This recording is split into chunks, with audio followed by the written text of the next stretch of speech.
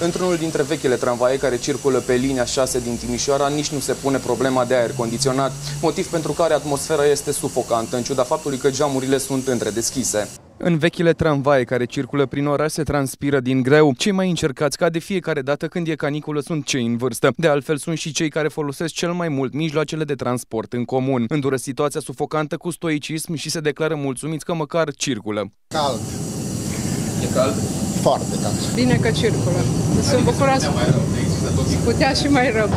Asta e, asta sunt condițiile. Nu se poate schimba toate tramvaiele dintr-un foc. După o plimbare de aproximativ 20 de minute, schimbăm mijlocul de transport în comun. Intrăm într-un tramvai Armonia din cele noi, dotate cu aer condiționat. De fapt, avem senzația că am intrat într-o saună. Geamurile sunt închise, tramvaiul este arhiplin, iar aerul condiționat nu este pornit. Călătorii nu mai suportă situația și au atitudine, iar atmosfera devine și mai incinsă. Dați drumul la climă. Nu este dat drumul, nu este posibil. Murim fără aer în tramvai. Asta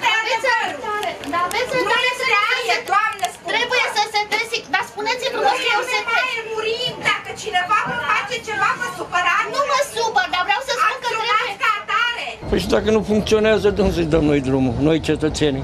Ce fac? Asta e aici. Vă adaptați? N-ai ce faci.